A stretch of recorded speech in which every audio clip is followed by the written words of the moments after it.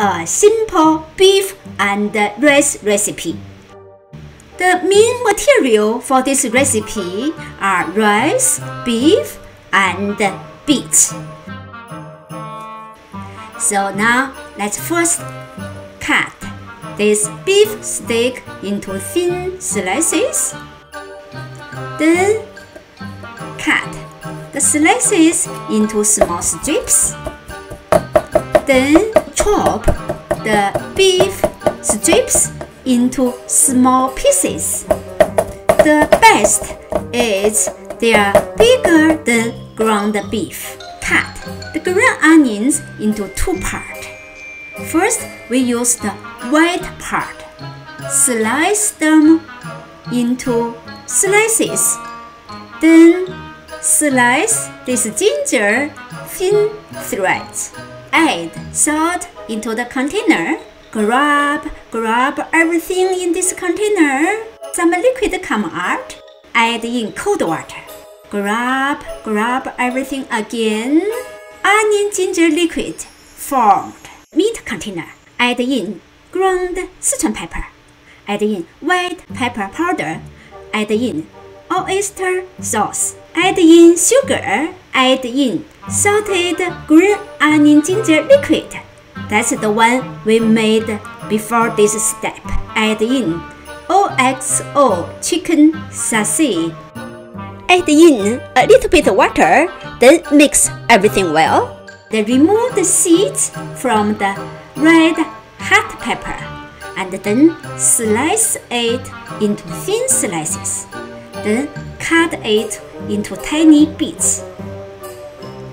For the green onion green part, we slice it first. Then cut them into small tiny pieces too. Next step, we process the three beets. Cut each one into small slices. Each slices is about one fourth inch thickness.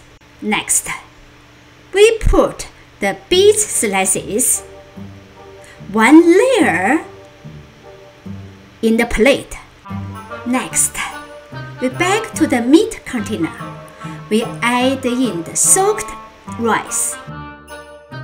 Put a big tablespoon of the meat and the rice mixture into the hand. Then make a ball use the hand.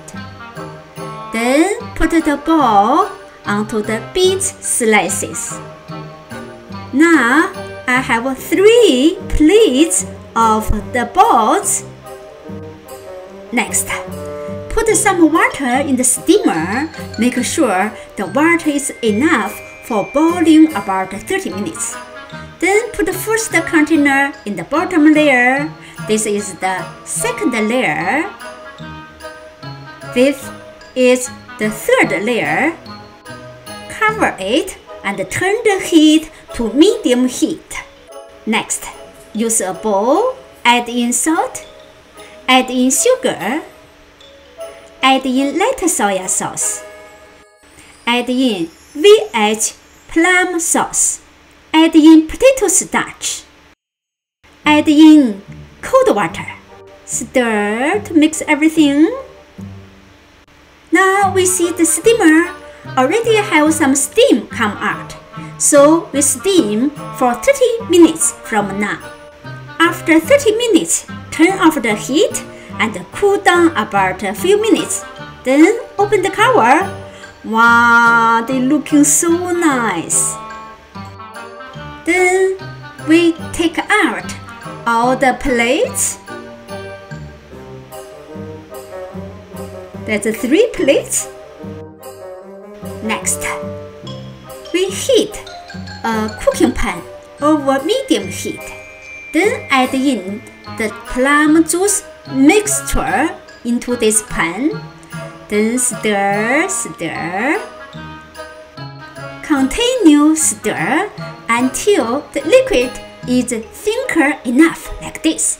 we turn off the heat. Then add the plum juice mixture onto each of the ball.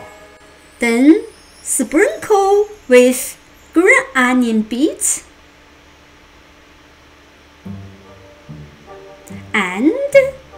the red pepper bits. Now everything is well done. Wow, they look so beautiful. Now we start to eat. Take one ball as well as the beets and take some juice. Mm. Delicious. Delicious. Wow, it tastes so wonderful. A little bit beef taste, a little bit rice taste, a little bit uh, plum juice sweet taste, and everything is so wonderful.